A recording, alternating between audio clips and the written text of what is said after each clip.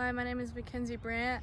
I'm a freshman at Flathead High School in Kalispell, Montana. I'm the class of 2025. I am a catcher, third base, and utility. Thank you for watching my video.